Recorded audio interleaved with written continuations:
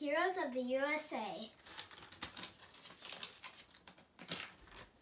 Veterans are people who serve in the military in times of war or peace. Veterans have served in one of these branches. As you read um, each of the branches highlight their jobs. The Army is the oldest and largest branch of the military. The Army is the Army uses ground troops to um, protect the United States. They have the largest helicopter wing in all the services. Marines are trained to fight by sea and land. The Marine Corps is often the first service on the ground to combat so solutions situations situations the marines are supported by the navy they, as they do not have any medical workers the navy defends our rights to use the oceans or travel and trade. They use aircraft carriers so that they can have a runway at sea for their aircraft. Navy SEALs SEALs are some of the most elite fighters. The Air Force protects America in the airspace or carbon space. They operate aircraft and helicopters. The Air Force provides air support during ground missions. The Coast Guard protects Americans' coast and waterways and develops with Navy with the Navy during wars.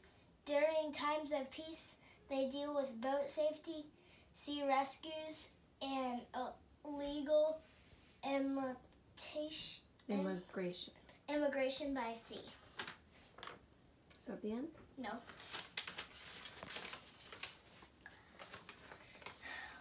Why do we celebrate Veterans Day? World War One was a huge war early in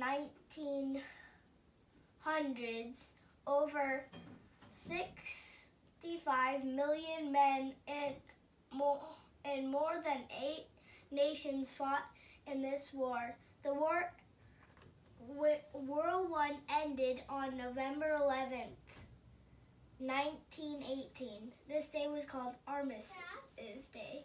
Armistice. Armistice Day is an agreement made by opposing sides in the war to stop fighting. It was it was a celebration of the war to end all wars. In 1921, the unknown soldier, an unknown soldier from World War I was buried in Arlington National Cemetery in Revenge, Ravenna.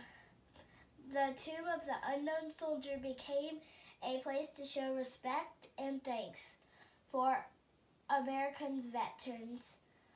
A red poppy became a symbol of World War I because these red flowers bloomed on the worst battlefield during the war. Their color became a symbol of the blood spilled in the war.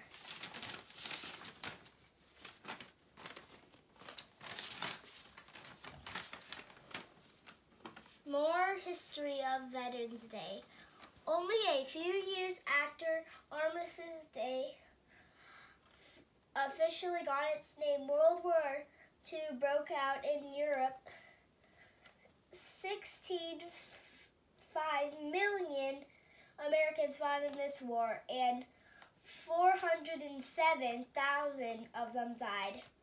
President Is Eisenhower Eisenhower Eisenhower realized that there were were more many more veterans to honor besides those who fought in World War One.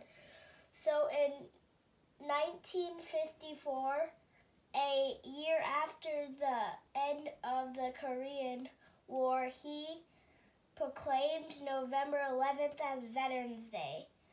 More unknown heroes were buried near the tomb of the unknown soldier to honor these men who symbolized Americans who gave their lives in wars. and army guard keeps watch over the tomb day and night. Veterans are heroes who, fight for our freedom every day. We need to show them our appreciation.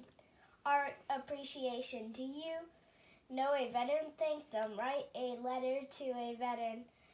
Go. Um. Do you know a veteran? Yeah.